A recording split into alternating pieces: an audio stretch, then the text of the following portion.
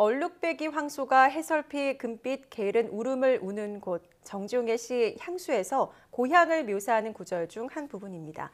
원래 한반도에는 이 얼룩박이 황소를 비롯해서 다양한 토종 소들이 있었다고 하는데요. 네, 그렇다면 그 많던 얼룩박이 황소는 어디로 갔을까요? 오늘 탐구인에서는 토종 소 복원 프로젝트를 진행 중인 농촌진흥청 국립축산과학원 가축유전자원센터 조창현 박사와 함께 이야기해 보겠습니다. 어서 오십시오. 안녕하세요. 안녕하세요. 예, 반갑습니다. 예. 어, 방금도 말씀드린 것처럼 우리나라에서 그 얼룩박이 황소에 대한 기록은 많이 있지 않습니까? 뭐 황희정승 기록에서도 농부에게 뭐 검은 소하고 누렁 소하고 누가 일을 잘하냐 이런 것도 있고요. 예, 예, 그렇습니다. 이거 다 어디 갔습니까? 우리가 왜 황소밖에 볼 수가 없는 거죠 지금? 아마 그, 그 기록에 의하면요. 예. 그 고구려 무용총의 그 우교처도라는 그림이 있습니다. 거기 보면 다양한 그 한우 그림을 볼 수가 있습니다. 예, 예. 또 조선시대 중기까지만 해도 예, 국내는 지금 국내에서 지금 우리가 보는 것보다 훨씬 많은 다양한 소를 볼 수가 있었을 텐데요. 그러나 근대에 들어와서 일제 강점기가 시작되자 많은 것들이 달라졌습니다. 어, 한우가 일본에 처음 수출한 게 1877년도부터인데요. 당시 일본 사람들이 어, 한우를 보고서 자기들 소보다 훨씬 덩치가 크고 농경에도 효율적이며 거친 사료도 잘 크는 그 한우를 보고서 탐을 많이 냈습니다. 또 한우를 개량하려고도 시도했습니다. 예, 가장 먼저 외모를 통일시키는 것으로 시작했는데요. 1914년도 조선총독부 권엄모범장에서 조사한 기록에 의하면 한반도 남쪽 지역에는 갈색 한우가 약 78%이며 나머지는 흑갈색, 흑색, 칙소 등이 있다고 되어 있습니다. 아마도 당시에 가장 많았던 갈색 한우를 기준으로 개량을 하였을 것입니다. 조선후 심사표준이라는 일, 아, 조선총독부 자료가 있는데요. 거기에 보면은 한우의 그 기준이 되는 것은 발급이 강하고 피부가 단, 탄탄해야 하며 적갈색이어야 한다는 기준을 정했습니다. 이러한 모색 기준 때문에 다양한 소, 그 모색의 소들이 사라졌을 것이라고 생각이 됩니다. 네, 일본이 우리 토종소를 탐냈다고 말씀하셨는데 일본은 뭐 우리 거 탐 안 낸 게 없네요. 어떤 식으로 이 토종소를 활용하기 위해서 수탈을 한 건가요? 어, 우선 그 일제 시대 때 저희 일본의 그 가져간 한우의 숫자를 보게 되면요. 예. 과- 한 50년 동안 살아있는 소가 약 150만 두가 일본으로 가져갔고요. 가죽으로 가져간 게 75만 톤입니다. 이 숫자가 약 600만 두에 해당되는 숫자입니다. 예. 당시 전쟁 중에 있었던 일본에게 소, 소가죽을 이용한 벨트는 공장에서 매우 중요한 동력 전달 체계였을 겁니다. 그래서 한우 가죽이 아주 이에 적합하다고 생각을 해서 우리 한우 가죽을 많이 수출한 것으로 생각이 됩니다. 또한 그 일본은 그 전쟁을 차, 그 하게 되는데요. 그 전쟁에 남자들이 이제 나가서 전투하는 바람에 농업 농촌에 여자들만 있게 되죠. 예, 예. 그렇게 되면 이제 일할 소들이 필요한데 일본 소는 암놈 소는 이게 힘이 없어서 농사에 적합하지 않고 숫소는 성질이 사나워 가지고 여자들이 다루기 힘들고 그래서 그 한우를 탐나게 되는데 한우는 암놈은 힘, 암놈도 힘이 좋아서 일을 할 수가 있고요. 예. 숫소는 성질이 온순해서 또 여자들도 다룰 수가 있는 특징이 있었습니다.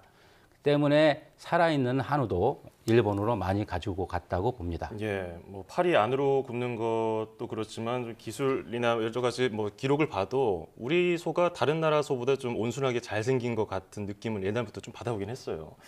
근데 지금 우리 토종 소가 한 종류가 아니죠? 여러 종류가 있지 않습니까? 예, 지금 그 뭐 어, 저희가 네 가지 이상을 분류하고 있는데요. 네. 이제 가장 많이 볼 수 있는 게 한우를 여러분들이 이제 쉽게 노란색 한우를 볼 수가 있고요. 예, 다음에는 온 몸에 칡농쿨을 감고 있다 해서 칡소 혹은 호랑무늬를 갖다고 해서 호반우라고 불리는 소가 있습니다. 근데 온 몸이 검은색인 흑우도 있고요. 근데 이 흑우는 제주도에 있는 흑우하고 내륙에 있는 흑우가 다르다고 생각하고 있습니다. 그래서 제주 흑우는 지금 천연기념물로 지정이 되고 있습니다. 또 피부에 색이 전혀 없어가지고 흰색으로 보이는 어. 배구도 있습니다. 어, 그렇군요. 현재 토종소 복원 프로젝트를 진행하고 있다고 들었는데요. 어떻게 진행되고 있는 건가요? 예, 저희가 이제 제일 처음에 무엇보다 중요한 거는 숨어 있는 유전자를 찾아내는 일입니다. 그래서 농가에서 사육하고 있는 소 중에서 외형적으로 다른 것이 있다는 정보가 수집이 되면 사육 이력 등을 조사하고 유전자 검사 등을 확인해서 전통소라고 확인이 되면 바로 관리에 들어가게 됩니다. 예. 네, 필요한 경우에는 구입을 하기도 하고요. 또 필요한 농가에 소개를 하기도 합니다. 네, 관리 측면에서 가장 저희가 우선시하고 있는 것은 자손을 많이 만드는 것입니다. 이를 위해서 수컷의 유전자를 빨리 확산시킬 필요가 있을 때는 인공 수정을 하기도 하고요. 암컷의 유전자를 빨리 확산시키기 위해서는 수정란 이식 기술 등을 사용하기도 합니다. 또 보존하고 있는 개체가 죽거나 번식이 불가능할 때는 체세포 복제 기술도 사용합니다. 또 최근에는 성분리된 정자를 이용하거나 성판별된 수정란을 이용하기도 합니다. 네, 이와 같은 사업은 우리 국립축산과학원을 비롯해서 지자체의 축산연구기관, 관련 대학의 협력 사업으로 진행이 됩니다. 예. 소가 그 새끼를 베고 있는 기간이 어느 정도 됩니까? 280일 정도입니다. 280일 정도. 예. 소는 한 몇 년 정도 사나요? 어, 행복하게 예. 소를 키워주면 10년 이상은 어. 충분히 삽니다. 그렇군요. 예. 이런 소를 털과 모양이 다 다른 게 소를 복원하는데 쉽지 않을 거라는 생각이 드는데요. 예. 유전자 연구도 하고 있다고 들었거든요. 그건 어떤 식으로 이루어지나요? 예, 우선 그 저희가 이제 그 지금까지 그 한우를 주로 모색에 의해서 구분을 했기 때문에 예. 그 모색을 발현시키는 유전자에 대한 연구를 하고 있습니다. 유전자 그 모색에 관련되는 유전자가 몇 가지가 있는데요. 이제 우선 가장 크게 먼저 생각하는 것이 색을 만드는데 관여하는 어, 타이로신이라는 아미노산입니다. 예. 이 타이로신 합성 염기 정보가 포함된 유전자 변이에 의해서 색이 전혀 없는 그 알비노소가 태어나게 됩니다. 우리 아- 한에서 아까 말씀드린 배구라는 게 이런 경우에 해당이 되고요. 다음으로는 그 황색소가 될지 검은소가 될지를 결정하는 MC1R이라는 유전자의 영향을 받게 됩니다. 그 외에도 색을 희석시키는 유전자, 젖소와 같은 무늬를 만드는 유전자 등 아홉 개의 유전자가 작용하는 것으로 알려져 있습니다. 그런데 얼룩얼룩한 무늬를 만드는 칙소의 모색 유전자는 아직까지 과학적으로 확실하게 규명되지 않았습니다. 지금 아직 연구가 진행 중에 있습니다. 토종소 보건 프로젝트를 통해서 이제 유전자 검사를 통해서 토종소를 감별하고 계시고 유전자 감별 연구 다양한 연구들을 하고 계시는데 그렇다면 현재는 어느 정도의 토종소가 복원이 됐고 또 목표는 어느까지 어느 정도까지로 지금 잡고 계시나요? 예. 우선 그 가축의 그 집단을 안정적으로 보존하기 위해서 위험 멸 종도라는 거를 갖다가 추정을 하게 됩니다. 이것은 예. 그 암수 앙, 앙커 수컷의 마리수랑 연령 등을 고려해서 멸종 위험도를 다섯 단계로 구분하는데요. 네, 가축의 정액이나 수정란, 체세포를 예, 등 이게 다시 복원할 수 있는 모든 자료가 없어진 경우에는 멸종이라고 정의됩니다. 예. 네, 지금까지 국립축산과학원은 배구, 칙소, 후구, 제주 후구에 대해 복원 증식 사업을 진행했는데요. 현재 배구 및 내륙의 후구는 심각 단계에 있습니다. 제주 후구는 위기 단계라고 볼 수 있습니다. 그러나 이들 세 집단이 모두 국가나 지자체에 의해서 보존 및 증식 활동이 수행되고 있기 때문에 관리 단계라고도 할 수 있습니다. 이 산업적으로 활용 가치가 높게 평가되고 있는 그 칙소의 경우에는 2007년도에는 그 위기 단계였지만은 지금은 안전 단계로 평가되고 있습니다. 우리는 배구, 제주 후구, 내륙 후구도 안전 단계의 위험성을 위험성으로 낮추는 것을 목표로 하고 있습니다. 예.